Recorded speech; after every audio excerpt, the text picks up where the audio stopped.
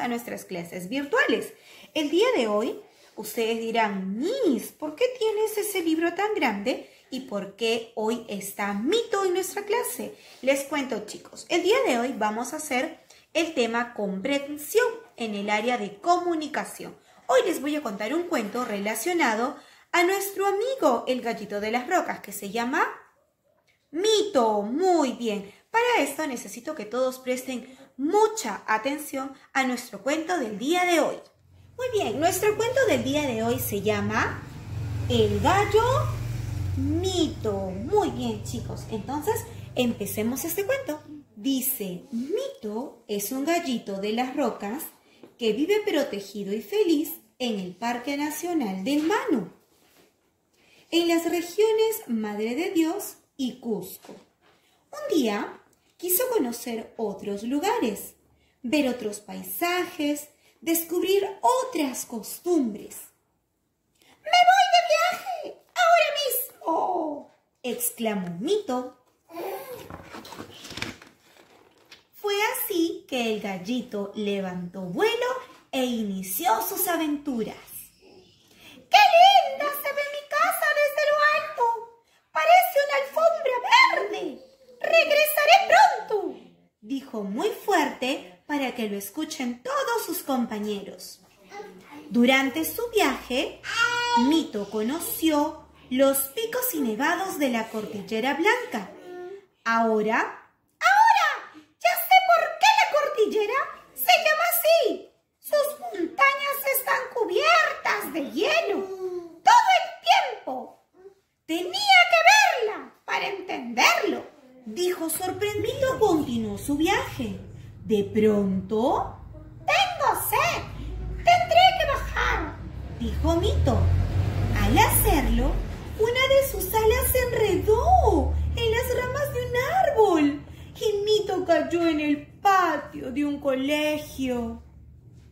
Enseguida se acercaron un niño y una niña. Mito, adolorido y asustado, trató de esconderse, pero ellos ya lo habían visto. ¿Estás bien? preguntaron los niños. Sí, fue una caída sin importancia, respondió el gallito. Hola, yo soy Nico y ella es mi hermana Maca. Este es nuestro colegio. Hola, niños, yo soy Nito. Estoy viajando para conocer otros lugares paisajes y costumbres del país. Niños llamaron a su profesora para que conocieran a Mito. Luego, el gallito preguntó, ¿El mar es salado? ¿Cómo se baila la marinera? ¿Dónde está Machu Picchu? Yo puedo responder tus preguntas, mi querido Mito, pero tú las puedes descubrir si continúas viajando, le contestó la profesora con voz muy dulce. Cuando quieras, puedes venir y visitarnos, dijo Nico. No lo olvidaré. Desde ahora ustedes son mis amigos. Mito visitó el Cusco y se quedó maravillado con la belleza de la ciudadela de Machu Picchu. Además, conoció la costa, probó el agua salada del mar y bailó marinera hasta que sus alitas se cansaron. Finalmente, Mito regresó al Parque Nacional del Manu y les contó a sus compañeros sus aventuras y cómo conoció a Nico y Maca, sus nuevos amigos. Espero que les haya gustado muchísimo el cuento del gallo Mito y de todas sus aventuras que pasó para conocer otros lugares. Ahora vamos a responder algunas preguntas. Espero que todos hayan estado muy atentos al cuento para poder responderlas. ¿Ok? La pregunta número uno dice, ¿cómo se llama el gallito de las rocas? ¿Cómo se llama, chicos? Mito, muy bien, aquí está. Nuestro gallo se llama Mito. La siguiente pregunta, ¿dónde vive Mito? En la reserva del Manu, muy bien, correcto. La siguiente pregunta, ¿a dónde se fue de viaje Mito? a conocer otros lugares y paisajes. Muy bien, muy bien. la siguiente pregunta. ¿Qué conoció en su viaje Mito? Los picos y nevados de la cordillera blanca. Por eso se dio cuenta que siempre la cordillera estaba blanca. ¿Por qué? Porque tenía hielo. Muy bien. La siguiente pregunta. ¿Qué le pasó en su viaje a Mito? ¿Recuerdan qué le sucedió? Su alita se enredó en un árbol. Genial. ¿Qué le pasó a Mito cuando se cayó? Se acercaron dos niños, ¿cierto? Muy bien. ¿Cómo se llamaban los niños? Maca y Nico, correcto. ¿A dónde lo llevaron? A conocer a la maestra. Muy bien, chicos. ¿Qué otro lugar conoció Mito? ¿Recuerdan qué otro, qué otro lugar conoció?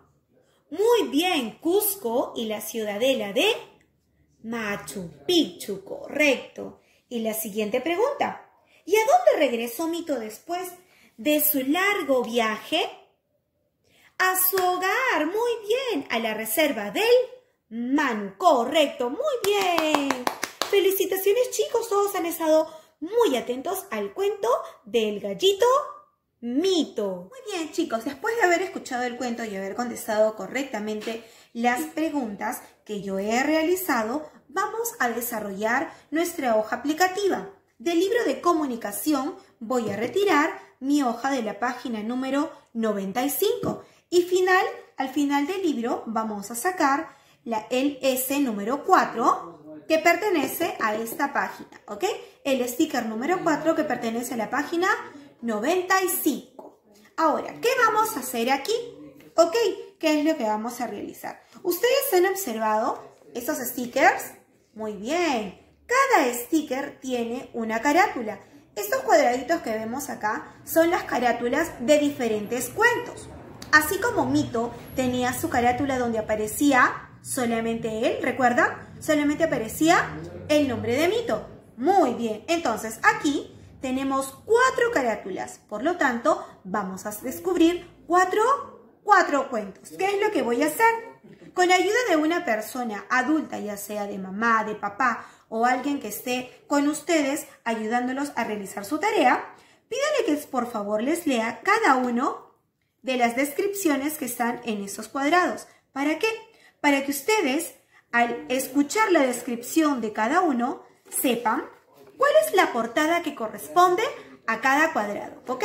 Por ejemplo, aquí dice, tiene orejas largas, tiene rabo, es silencioso, es suave, es tierno. ¿Cuál de estos cuentos creen ustedes que será? Félix el venado, el conejo Suso, conociendo a los dinosaurios o los cocodrilos. ¿Cuál creen ustedes que será la portada de este cuento? Muy bien, el conejo Suso, correcto. Entonces, ¿qué es lo que voy a hacer? Voy a retirar mi sticker y lo voy a pegar dentro del cuadrado. Ahí está. Y ya tengo la portada de mi primer cuento. Lo mismo van a repetir con las otras tres descripciones y van a retirar los stickers y pegar en la portada que corresponde. ¿Ok? No se olviden, chicos, eh, de, pedirles a una persona mayor que le tome foto y que lo puedan subir a la plataforma donde nos estamos mirando. Espero que les haya gustado muchísimo el cuento del día de hoy de nuestro amigo Mito, el gallito de las rocas, y que descubran cuáles son las portadas de los cuentos que están en su hoja aplicativa. Conmigo será hasta otra próxima clase y nos vemos. Un beso muy grande. ¡Chao! Gente, no se olviden de los rones también. Crucial, crucial, determinante. Los rones, no se vayan a olvidar de los rones. Por favor.